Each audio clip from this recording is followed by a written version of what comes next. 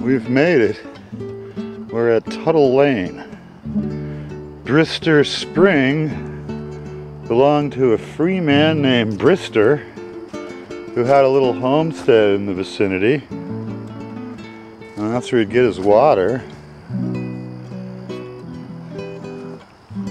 Concord, like Andover and a number of other towns, was a significant supporter of the abolitionist movement.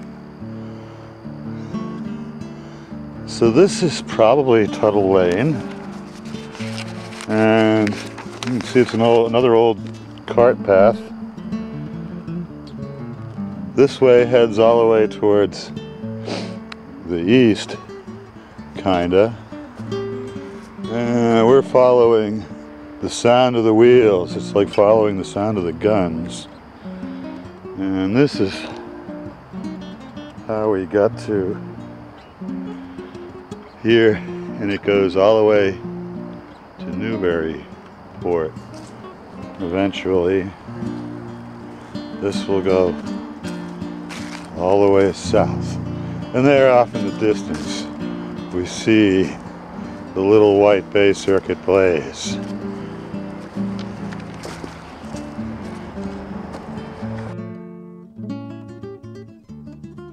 That's the way we came from.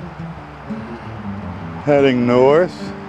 This is a little side trail. And here we are arriving at a trailhead and a little parking lot. There's the Bay Circuit Blaze letting you know that a turn is in the works.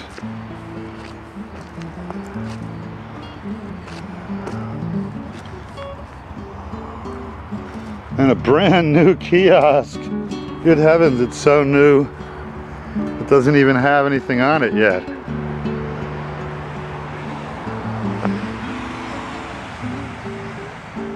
Here's Walden Street. And another guy's. And it looks, wow, this parking lot is brand new. Jeez. It's even got handicap parking. Wow. It's, so new, it, it probably isn't even on the map. And the trail is being routed this way. Must have found a more congenial way to get into Walden. Geesh, this is all noteworthy.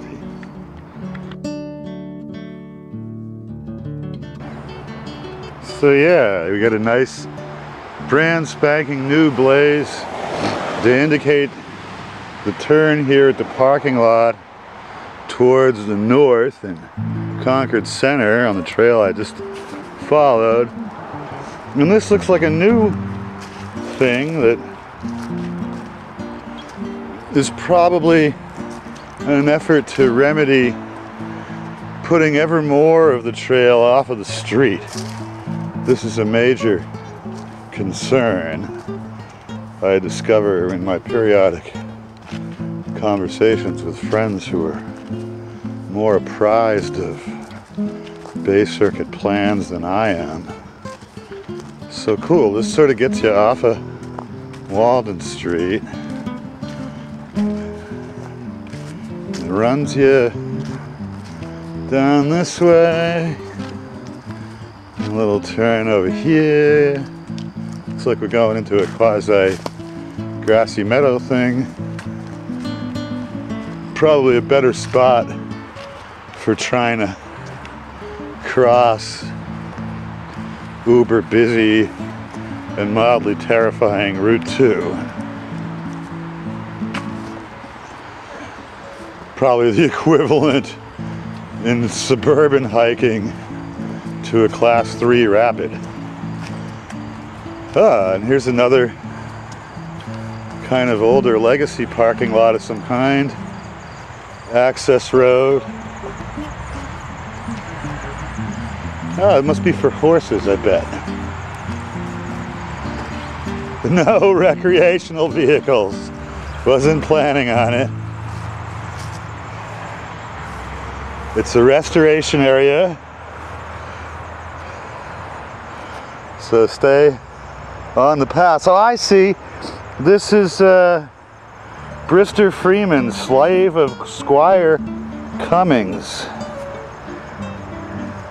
who once there where glory, where grew still the apple trees, which Brister plant, planted and tended. Oh, so Henry evidently observed Brister's apple trees back in the day. So old Brister has, had been in this neighborhood for a while.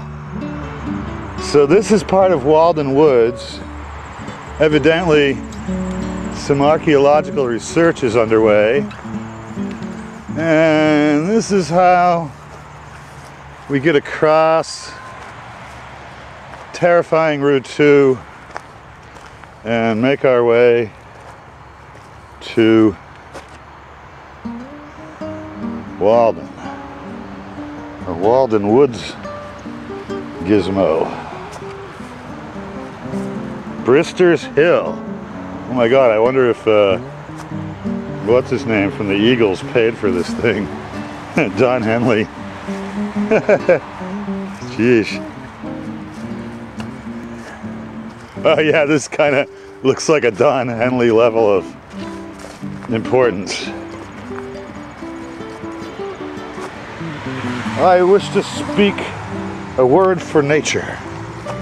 Uh, okay, so this is Henry's Path on Brister's Hill.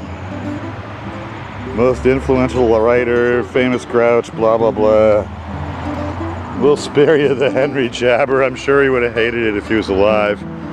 But there's the friendly Bay Circuit marker. And here we are at the not so friendly intersection of 116, I believe, or 127, Walden Street anyway, and 2A. And the Bay Circuit blaze on that power pole is suggesting we head this way. And so we shall.